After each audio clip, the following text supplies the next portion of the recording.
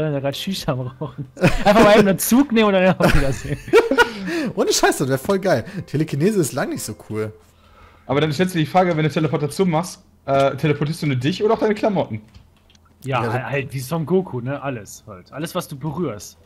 Ja, super, da heißt, du kommst dann auf einmal cool, da legst du die Schicht weg, oder was? Ja, quasi, genau, so ungefähr. Das kann natürlich passieren. Alles, was du berührst, ist aber auch schwierig. Das heißt, teleportierst du immer den Boden mit, auf dem du gerade Nee, nee, stehst. nee, nee, nee, nee, nee, alles, was deine Hände oder was, oder, oder die Hände, die dich berühren. Also man muss das schon ein bisschen einschränken. Ja, das heißt, du teleportierst deine Schuhe nicht mit. Und deine Hose auch nicht. Ja, doch, alles, was an deinem Körper ist, ja, aber das geht halt zum Beispiel. Das heißt, alles, die was Schuhe deine- am Boden. Alles, was deine Haut berührt, quasi. Ja, so kann man das so gesehen auch sagen. Ja, wie machst du das, wenn du mit nackten Füßen am Boden stehst? Ja, da muss man das dann, dann teleportiere ich die Fliese unter mir halt mit. Okay, und bei so Gussbetonboden? Vor allem, also du stehst mit nackten Füßen auf der A1 oder so. Ja, aber du, du teleportierst ja nur das, was deine Haut berührt. Ne? Wenn du am Strand stehst, dann teleportierst du halt nur das bisschen Sand mit, was du unter, was du unter den Füßen hast. Boah, ich glaube, ich habe ein Ja, stimmt, Update oder so. Haben Das ist voll geil, Teleportation, ohne Spaß. LOL! Wo kommt denn der Baum her? Boah, ich wusste doch, die Seite ist richtig gut gewesen, weil es hatten wir schon wieder ein richtig geiles Gesprächsthema. Hast du den Baum hier äh, What the fuck? wachsen lassen, Dennis? Als Jesus Ja. gestorben ist, ist der Baum gewachsen. Das ist ein Zeichen. Ja, Es ist der Jesusbaum! Es ist der Jesusbaum! Oh Gott. Ja, das ist nicht der Jesusbaum, der wird nicht Hol feiern, der hat Gaia dahingesetzt. Hol dich dem Jesusbaum! Du sollst nicht vögeln. Und scheiße, Ja. wieso ruckelt das denn jetzt auf einmal? Hab ich Weil gerade ein Hardy Update ein oder nicht? scheiß Lutscher ist. Also bei mir ruckelt das nicht. Bei mir ist alles so wie vorher. Wieso kann man eigentlich sein, äh, sein Antivirus-Ding nicht einfach ausmachen? Weißt du, Antivir. Ich drück da Rechtsklick drauf, da steht nirgendwo beenden oder sowas. Doch, du kannst das deaktivieren machen. Ja, aber ist ja nicht, dann wird er trotzdem noch updaten. Jetzt ist hier, jetzt bricht hier gerade Ah, alles okay. zusammen. What the fuck?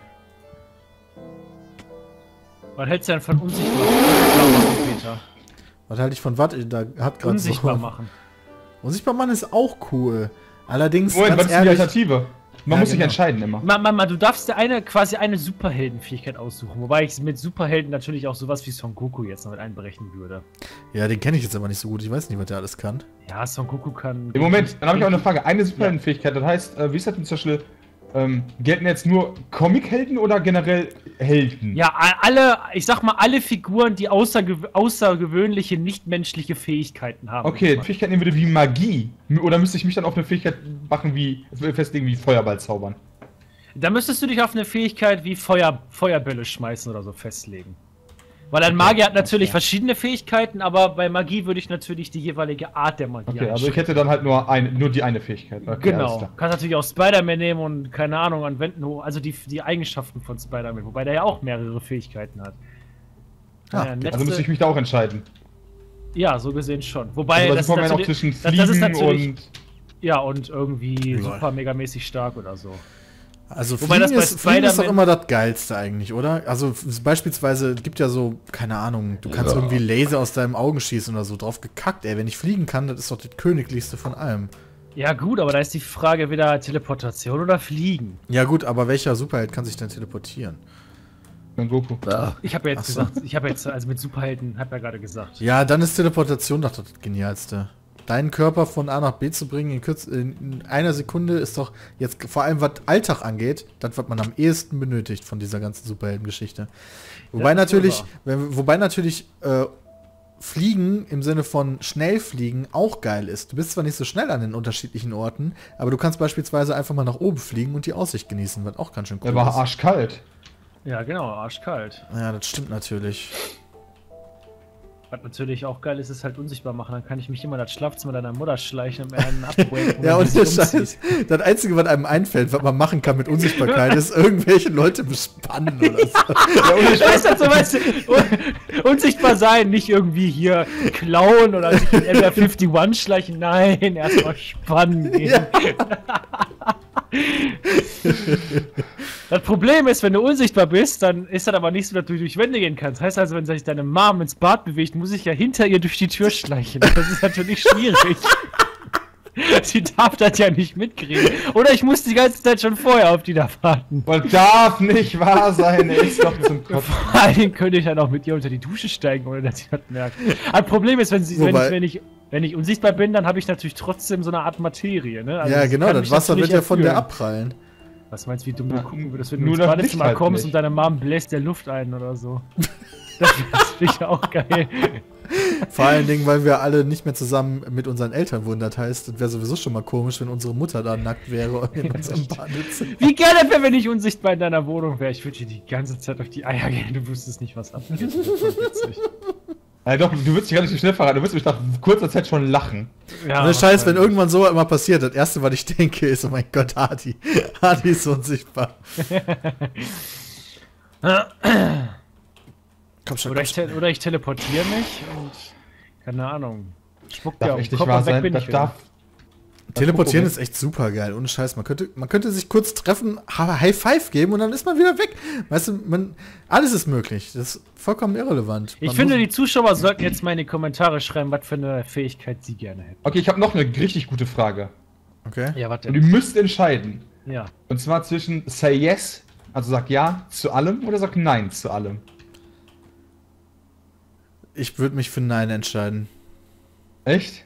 Ja, warum, warum, warum sollte man denn immer nur Ja oder immer nur Nein sagen? Was wird mir das denn für Vorteile bringen? Nein, nee, aber wenn du dich Gar zwischen keine. den beiden Sachen entscheiden müsstest. So. Pass auf, der kommt der Mann mit dem Koffer, ja? Den kennst du ja noch. Oh, scheiße, und der sagt dir, wie möchtest du eine Million geschenkt haben? Ja, toll.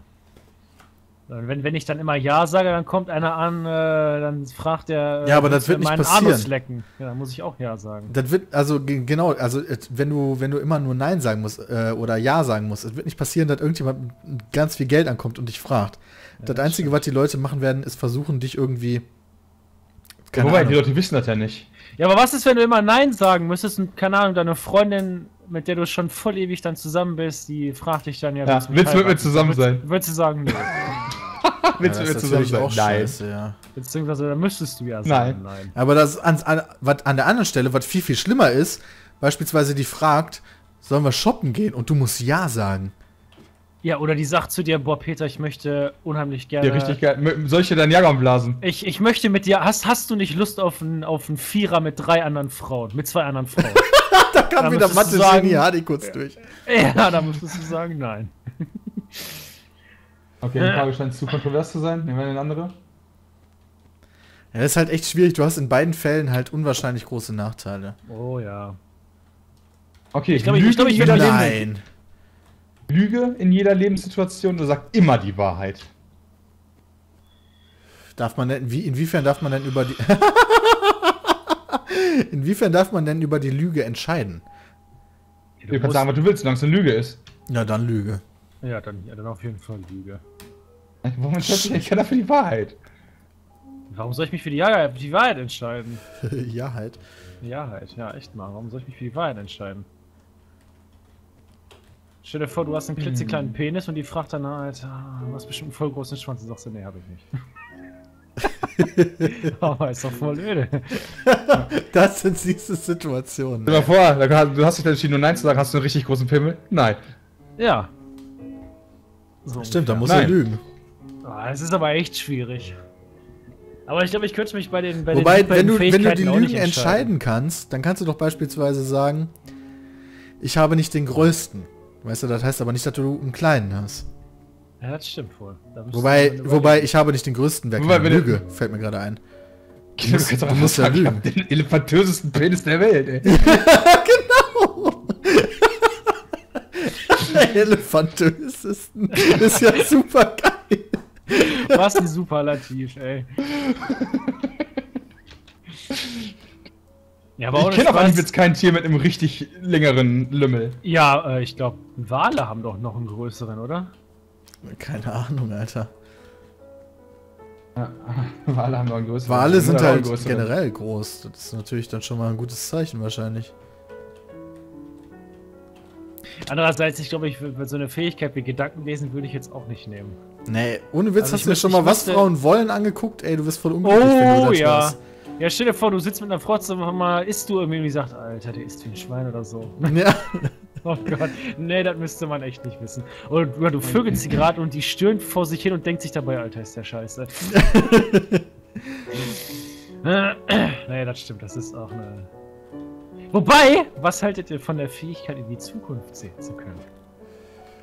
Das finde ich mega fett, würde ich sofort machen. Das erste, was ich mal angucken würde, wäre, wann sterbe ich. Oh. Und ich, ich will auch ehrlich gesagt erstmal die Lottozahlen abchecken. Wann ich sterbe, ist mir gar nicht so wichtig. Ich würde aber auch nicht jedes Mal gewinnen wollen, weil irgendwann fällt es sicherlich auf. Ja, wow, und dann sagt er, tut mir leid, er hat mich selber beim Lotto beschissen. Das sollen die dir erstmal nachweisen. Vor allen Dingen, das ist wieder so eine total, so eine Sache, die eigentlich gar nicht funktioniert. Weil wenn du beispielsweise guckst, wie du stirbst, dann kannst du das ja theoretisch dagegen vorgehen.